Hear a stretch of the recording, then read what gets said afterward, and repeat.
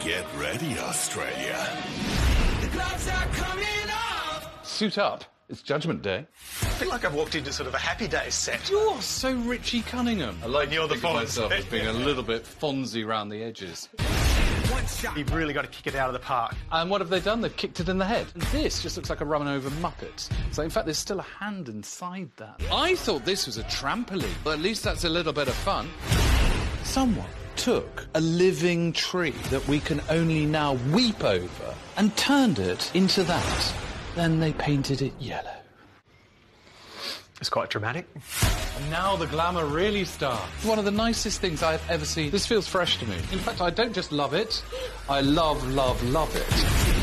I think it looks like an award for Car Salesman of the Year. Are they ready for LLB? Yes, this is going to be fun. On the new House Rules after the Commonwealth Games.